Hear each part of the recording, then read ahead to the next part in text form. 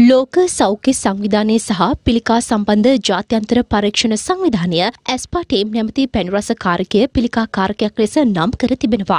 එම පැණිරස කාරකය මේ වන විටත් මෙරට පැණිබීම ඇතුළු ආහාරවල අඩංගු වන බව ශ්‍රී ලංකා සෞඛ්‍ය පරීක්ෂකවරුන්ගේ සංගමයේ විදායක සභික රෝෂාන් කුමාර පවසනවා. දැනට ලංකාවේ භාවිතා කරන්න අපි කියන පැණිරසකාරක E951 කියන ඇස්පාටේම් කියන පැණිරසකාරක පිළිකාකාරකයක් ලෙස හඳුනාගෙන තියෙනවා. ඇස්පාටේම් කියන පැණිරසකාරකයේ විවිධ පැණිරස බීම වර්ගවල විශේෂයෙන් සීනි වැඩි රෝගීන් සඳහා කියලා භාවිතා වෙන අඩු සීනි සාන්ද්‍රණයක් සහිත ජෑම් වර්ගවල පැණි බීමවල ඊළඟට චොකලට් වර්ගවල පැණිරස ආහාර වර්ග ගොඩක මේ පැණිරසකාරකේ භාවිතා වෙනවා. මේ පැණිරසකාරකේ මේ වන විට ස්ථිරව පිළිකා හැදීමේ අවදානමක් සහිත පැණිරසකාරකයක් විදිහට නම් කරලා තියෙන නිසා මේ සම්බන්ධව මා ජනතාව විශේෂයෙන් දැනුවත් විය යුතුයි. ඊ 951 කියන පැණිරසකාරකය සඳහා අවසර ලබා දීලා තියෙන අවුරුදු 12ට අඩු අයට භාවිතා කිරීමට නුසුදුසුයි කියන ලේබලය සහිතවයි. විශේෂයෙන් පොඩි ළමයින්ට මේ ආහාර වර්ග ලබා දෙන්න එපා.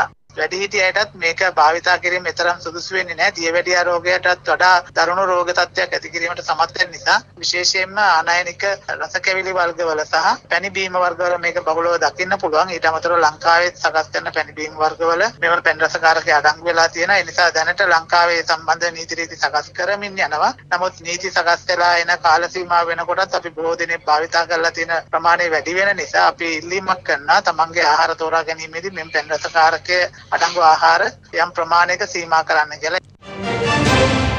රටේ ලෝකෙ සිදුවන උණුසුම් පුවත් දැනගන්න සියත නිවස් YouTube channel එක අදම subscribe කරන්න.